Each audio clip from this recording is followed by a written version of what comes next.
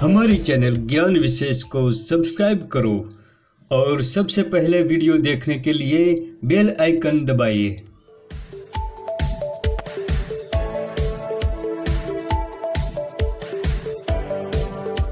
नमस्कार दोस्तों, मैं ईश्वर सोलंकी और आप देख रहे हैं ज्ञान विशेष। आज मैं आपको पथरी के सरल उपचार की जानकारी दे रहा हूँ। दोस्तों पथरी किसी भी उम्र में हो सकती है पथरी बनने के कई कारण हो सकते हैं। अनियमित जीवन शैली और खाने पीने के गलत तरीके के कारण भी पथरी बन सकती है। ज़रूरत से कम पानी पीना, ये भी पथरी का कारण बन सकता है और कुछ आनुवांशिक बीमारियाँ भी गुर्दे की पथरी का कारण बन सकती है। कैल्शियम के अधिक स्तर के कारण भी गुर्दे की पथरी हो सकती है। पथरी की साइज़ एक से तीन एम तक हो सकती है तो कभी कभी ये बढ़कर आठ एम से भी बड़ी हो सकती है। पथरी के मरीज़ को चुकंदर, चॉकलेट, पालक और चाय का सेवन बिल्कुल बंद कर देना चाहिए, क्योंकि इसके सेवन से पथरी बढ़ती है। प्रतिदिन पाँच लीटर पानी पीना चाहिए। ज़्यादातर नारियल का पानी पिए, गाजर, चना, सेब, केला, करेला और राजमा का सेवन ज़्यादा करें और पानी ज़्यादा से ज़्यादा पिए तो पथरी आगे बढ़ने से रुक जाती है।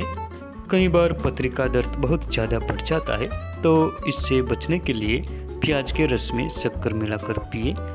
इसके अलावा अजवाइन को पानी में उबालकर छान कर इसे पिए। इसके सेवन से धीरे धीरे पथरी का दर्द शांत होने लगता है। दोस्तों, गुड़हल का फूल पथरी को गलाने में बहुत फ़ायदेमंद है। गुड़हल का फूल कई रोगों को दूर करता है। आयुर्वेद के अनुसार यह कफ और पित्त शामक केशिय स्तंभन गर्भ निरोधक और रक्त शोधक है।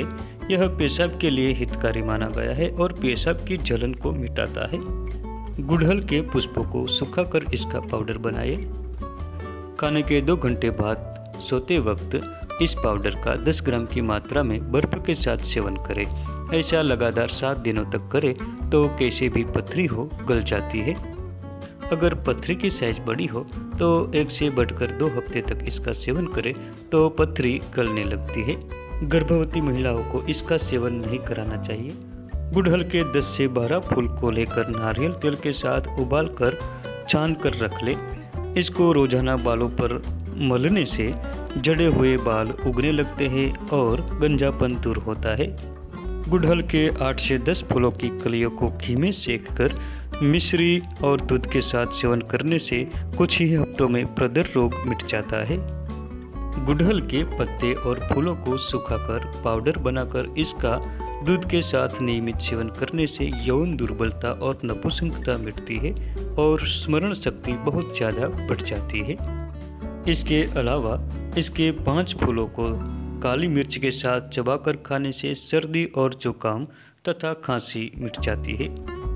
इसकी पत्तियों को पानी में उबालकर शहद के साथ चेहरे पर लगाए तो चेहरे की सुंदरता बढ़ जाती है और चुरिया दूर होती है दाग धब्बे मिट जाते हैं।